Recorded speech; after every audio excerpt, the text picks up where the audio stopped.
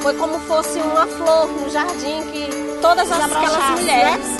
juntas nós mulheres, veja a importância que tem da gente estar junto, da gente fazer todo mundo entender que eu sou mulher e que eu tenho meus direitos, meus valores e que tenho que ser respeitada. É a união das mulheres atrás de um reconhecimento melhor na sociedade.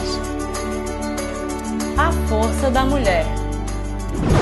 Vive dentro de mim a mulher do povo, bem proletária, bem linguaruda desabusada, sem preconceitos, de casca grossa, de chinelinha e filharada. Todas as vidas dentro de mim, na minha vida, a vida mera das obscuras. De Cora Coralina. A poeta goiana é quem inspira o projeto A Força da Mulher, na busca por conhecer melhor as histórias dessas mulheres e fortalecê-las. Para isso, o projeto atua em três cidades cearenses, Quixadá, Ocara e Pacatuba. Em mais de um ano de atividades, encontramos uma diversidade enriquecedora de histórias, etnias e conhecimentos. Ao lado destas mulheres, estamos construindo uma nova maneira de pensar nossos modos de viver. Foi-se o tempo em que estávamos em segundo plano. É, eu conheci o projeto aqui mesmo em Ocara, lá no DENI, né, quando é, as meninas que faz parte da, do projeto da Força da Mulher foram lá e fizeram o primeiro encontro e a gente se interessou para a gente estar tá sentando. E aí a gente começou todo aquele trabalho né, que a gente fez durante este ano. E esse projeto trouxe para mim, para a minha comunidade, é, um reconhecimento do artesanato, né, das, da criação de galinha caipira que a gente tem na comunidade. Uma experiência muito boa esse projeto. E ele veio para nos ajudar, com certeza.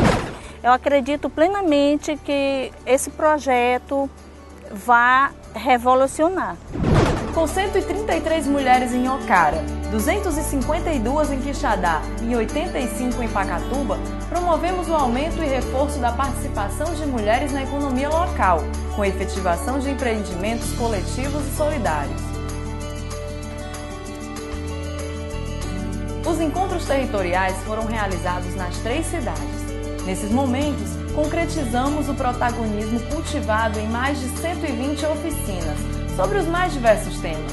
Discutimos e trocamos experiências sobre problemas como machismo e alternativas como artesanato.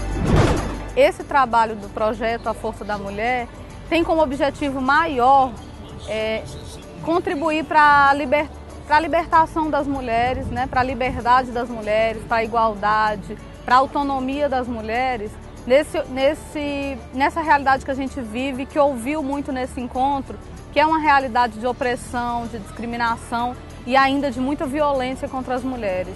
Então, o encontro foi teve momentos muito emocionantes, onde as mulheres se sentiram à vontade para trazer, para dividir com a gente essa realidade tão doída que elas ainda vivem. Então mostrou para a gente, nesse encerramento, a importância de continuar. O quanto é necessário, que esse foi só um primeiro passo. Esse primeiro ano foi um primeiro momento de sensibilização, um primeiro momento onde elas estão despertando para a necessidade de mudar suas vidas. O projeto tem três anos de duração e já entra no segundo.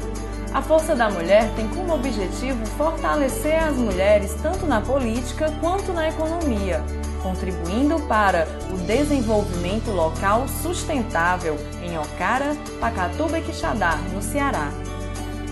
A realização é do Ceará Periferia e Esplar, com financiamento da União Europeia.